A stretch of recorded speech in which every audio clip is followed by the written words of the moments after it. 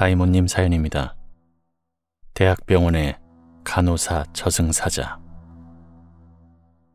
모처럼 만난 친구와 지난 이야기를 하다가 듣게 된 일화입니다. 이 친구의 지인이 모 대학병원 장례식장에 갔다가 겪게 된 이야기라며 들려주었는데 장례식장에 들어갈 때 어떤 간호사랑 환자복을 입은 분이 지나가길래 뭐 그분들도 장례식에 참석하는 거겠지 생각했답니다. 그렇게 인사를 하고 밥을 먹으며 이야기를 나누다 한 1시간쯤 뒤에 나왔는데 아까는 준비하느라 시작하지 않았던 다른 방 장례식에 고인분의 사진이 떴는데 그게 바로 조금 전 간호사와 함께 들어갔던 그 환자분이었다고 합니다. 이야기를 듣고 흥미가 생긴 저는 아는 사람들 중에 이 병원과 관련 있는 사람에게 전화를 해서 혹시 알고 있는 이야기냐고 물어보았습니다. 이 병원에서 레지던트를 했던 친구가 있었는데 자신은 귀신의 존재를 믿지 않는 편인데다 뭐 겪은 적은 없지만 워낙에 큰 병원이고 사망 환자도 많았기 때문에 영안실이나 중환자실, 수술실 등에서 귀신을 목격했다는 말은 들은 적이 있다고 했습니다.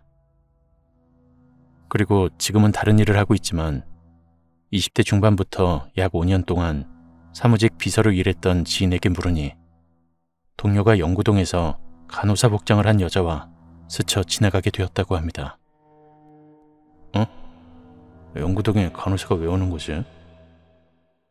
이런 생각이 들어 다시 돌아보았는데 문소리도 듣지 못했는데 복도엔 아무도 없었습니다. 그래서 귀신을 본 거라고 생각했는데 그날 거기서 교수님 한 분이 심근경색이 와서 심정지로 사망하는 일이 있었답니다. 또 하나는 병원 직원은 아니었지만 이 동네에 살던 후배가 데이트를 하다가 목격한 내용이었습니다.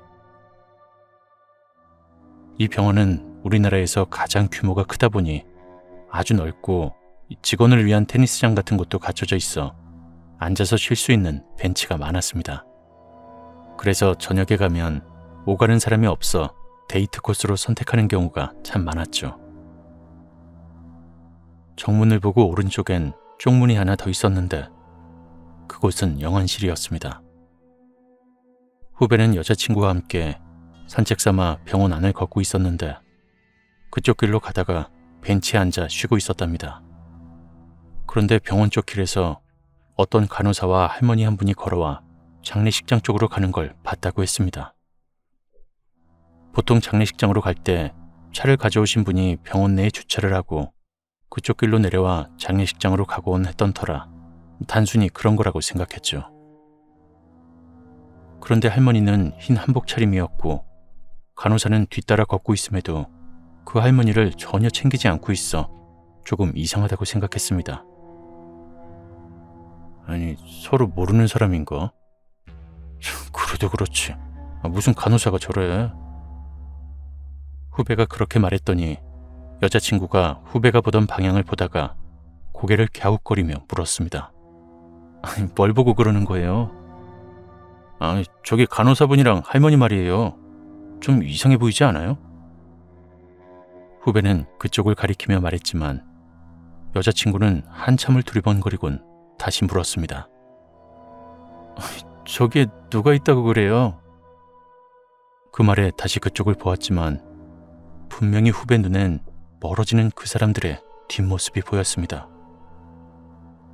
꽤나 밝은 곳이었고 큰 찻길 옆이라 보이지 않을 수가 없었던 곳인데 후배 눈에만 보인다는 것이 참 이상했습니다.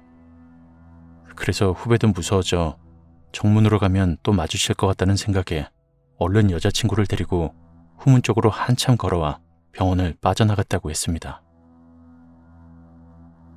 제가 들었던 이야기는 여기까지입니다. 이야기들은 모두 30년도 훨씬 넘은 것들인지라 다른 사람들에게 수소문을 해보아도 더 이상은 모른다는 말뿐이었습니다.